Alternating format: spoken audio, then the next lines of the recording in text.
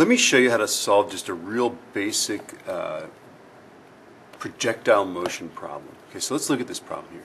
Red elk runs off a 3.8 meter tall cliff with a horizontal velocity of 4.2 meters per second and does a face plant in a snowdrift. And Bill Gates told me that the face plant was not a word, but I think it is, right? And then what time is he in the air? How far out does he land? I mean, we know he's far out because he's red elk, right? And then what is his velocity of impact with the snowdrift? Okay, so let's draw a little picture here. It's always good to draw a picture. This cliff is uh, 3.8 meters tall, and red elk is going to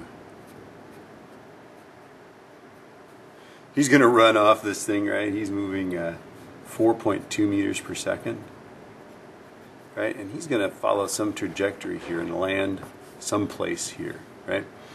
Okay, and we want to know the time in the air, how far out, what this distance is, right?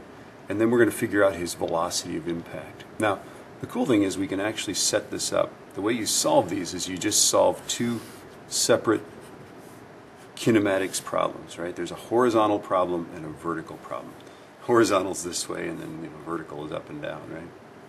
And we've got initial, or we've got um, displacement, initial velocity, final velocity, acceleration, time, and we just do that in both directions. Okay?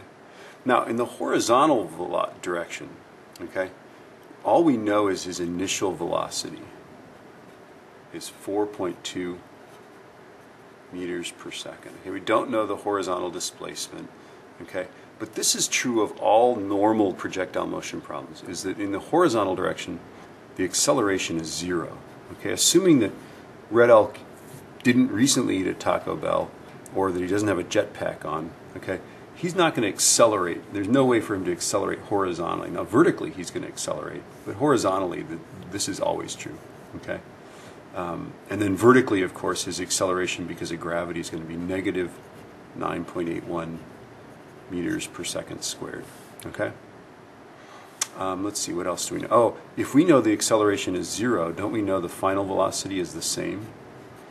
All the way down, he's going to have the same horizontal velocity. This stays constant because air friction really isn't going to slow him down for the short time he's in the air. That's what we're saying, right? That's meters, okay? Now in the vertical direction, we know the displacement here. We know that in while he's in the air, he's going to displace himself 3.8 meters down. That's why it's a negative sign. And then notice it says a horizontal velocity. Well, if it's horizontal, if that's all horizontal, that means the initial vertical velocity is zero. Okay, and I call this is for a cliff problem, right?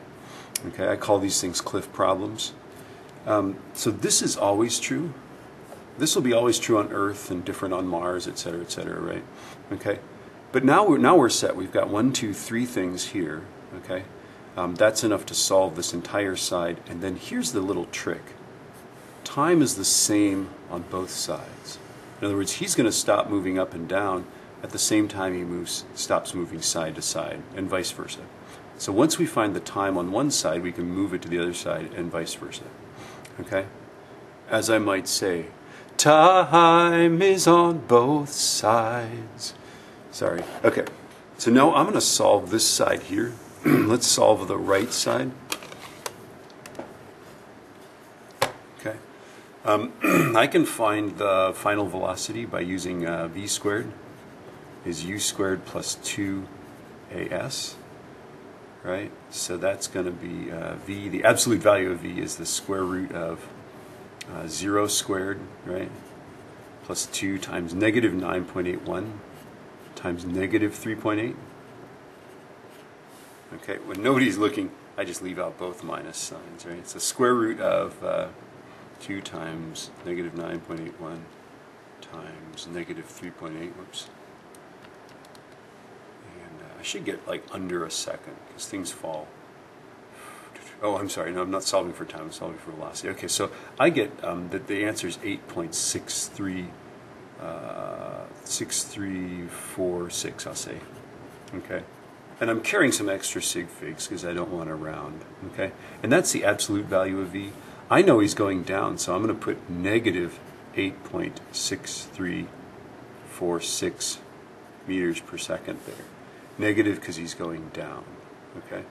Now I can find time. I'm going to use s equals ut plus 1 half at squared to find time. I could use any formula to find time, but I'm going to use that one.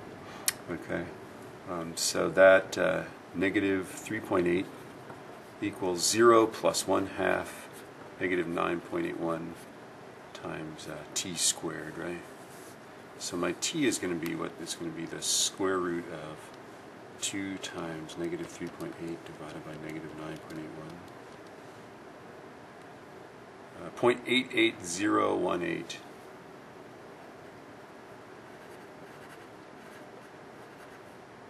Right? Okay. Uh, did I do that right? I did. I'm going to store that in my variable t just for fun. Okay. Now I can castle that guy across. Right. 0.88018. In other words, horizontally, we're going to stop moving at the same time. Right. So now I'm all set. Uh, the only thing that ever happens in the horizontal direction, this is so cool about these problems, is that, uh, you know, I'm going to use this formula. S is ut plus 1 half at squared.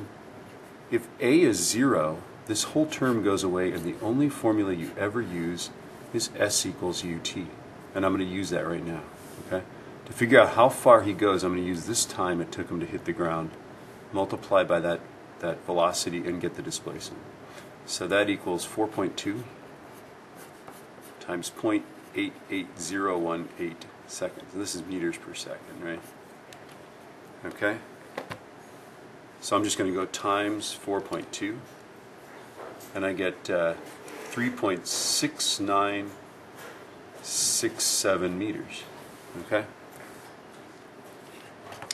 So now I've got, uh, I've, I've filled this whole table, and now it's time to answer the question, right? What time is in the air? Well, with two sig figs, I'd have to say 0.88 seconds. Right? How far out does he land? I'd have to say with two sig figs, 3.7 meters. Okay, and then velocity of impact with a snowdrift. There's two ways I can answer that. I can say that it's 4.2 meters per second in the x direction. This would be a component vector. And negative 8.6 meters per second in the y direction, right? Okay, or I can make, uh, and probably if they say velocity, they want an angle magnitude vector. So let's make that angle magnitude vector. Right when he hits, right here, he's moving over and down. So it's 4.2 over, and down it's going to be negative 8.6346, right? So the magnitude of that impact, right, the, the, the speed with which he hits the ground, the magnitude is the square root of 4.2 squared plus 8.6346 uh, squared. Okay. So square root of 4.2 squared plus 8.6346 uh, squared. And that's 9.6, I get 9.6019 meters per second. Okay. This would be the speed. Okay. The magnitude of the velocity vector is the speed. So if they ask for the speed of impact, okay, that's what you're going to say is that hypotenuse. It's not this one, it's not that one, it's this guy. This guy's 9.6 meters per second. That's a 6. Let's make it look more like a 6. Okay? And then if we want to make this that speed into a, a velocity, we've got to find that angle, right? So that angle right there is the inverse tan of opposite over adjacent. This is the opposite side, adjacent side, right? So 8.6346 uh, over 4.2.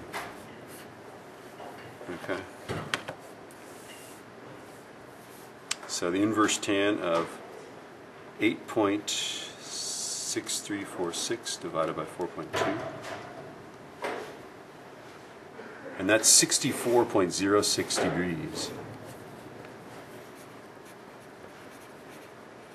Okay, so if I had to, if I had to, to give this as an, as an angle magnitude vector, which is almost always what they want, okay, I would say that the velocity is 64 degrees below horizontal.